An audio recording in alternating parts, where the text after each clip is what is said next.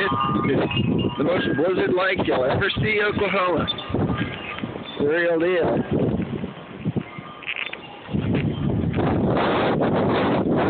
Thank you.